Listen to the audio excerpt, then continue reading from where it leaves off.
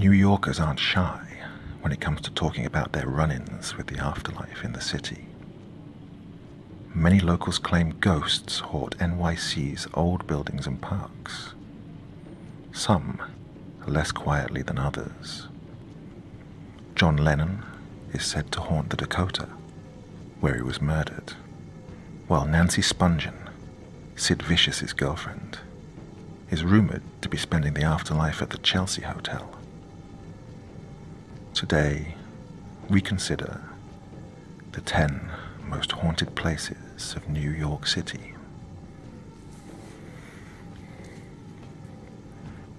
The Morris Jumel Mansion. One of the oldest houses in Manhattan, this stately Georgian mansion in Washington Heights was built by Roger Morris, a colonel in the British Army, in 1765. It served as military headquarters for both sides of the Revolution, with George Washington retreating here after the disastrous loss of the Battle of Brooklyn in 1776. In 1810, the house was bought by Stephen Jumel and his wife Eliza. After his suspicious death, she remarried in 1832 to Aaron Burr, former vice president and the killer of Alexander Hamilton.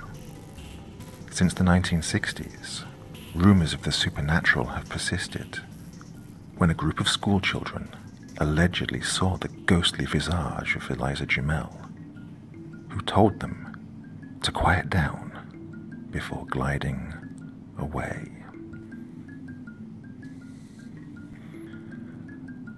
The Dakota Building. The Dakota is renowned for its scene stealing role in Roman Polanski's 1968 horror classic, Rosemary's Baby, and as the site of John Lennon's assassination. However, this legendary Central Park West building has a long history of supernatural encounters in its own right.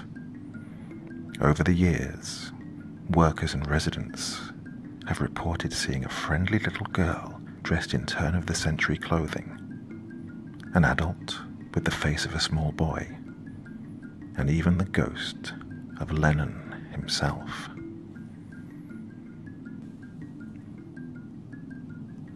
The Campbell Apartment. The Campbell apartment was once the office and salon of financier John W. Campbell, who died in 1957. According to current owner Mark Grossich, employees have felt strange presences, including something pushing them from behind and bursts of cold air. And some have even reported seeing an old, fashionably dressed couple sitting and having a cocktail on the balcony when the place was completely closed. The House of Death. This beautiful townhouse has been called the most haunted building in New York City, with as many as 22 ghosts calling it home, earning 14 West 10th Street the title The House of Death. Mark Twain lived here from 1900 to 1901 and claimed that he himself experienced supernatural incidents. Throughout the 20th century, this was the site of several gruesome incidents, including a murder suicide and the beating to death of six year old Lisa Steinberg. The spectre of Twain himself has been seen ascending the staircase on many occasions.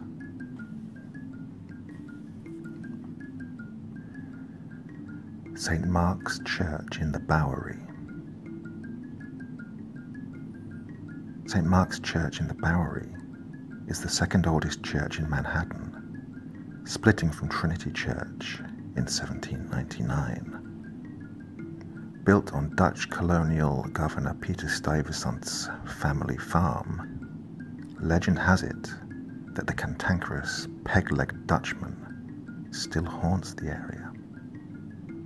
he has been known to harass clergymen and parishioners, ring the bells, and loudly interrupt services by stomping around and singing Calvinist hymns in Dutch. Apparently, English Episcopal hymns simply don't agree with him. The Merchant's House. While some haunted houses might try to lose their notorious reputations, the East Village's Merchant's House Museum does not. Built in 1832 and later bought by wealthy merchant Seabury Tredwell, the museum is an immaculate look into the personal, domestic lives of the 19th century cultural elite. Although the ghost of Tredwell's daughter still haunts the place. The Manhattan Well. In the winter of 1800, the body of a young woman named Gulielma Sands was found at the bottom of the Manhattan Well at what is now 129 Spring Street. The ensuing trial was one of the great scandals of 19th century New York, with Levi Weeks accused of her murder after he reportedly impregnated and promised to marry her.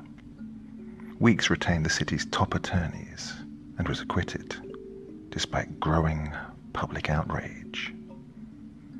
In 1817, the Manhattan Well was filled in and built over, but it was rediscovered in 1980 and has since become a notorious destination for paranormal enthusiasts, claiming that the ghost of Gulielma Sands still haunts the area.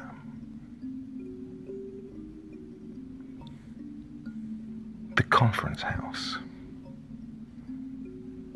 Located at the southernmost tip of Staten Island, this colonial manor was used by Loyalist Colonel Christopher Billop as a way station for British forces during the Revolutionary War.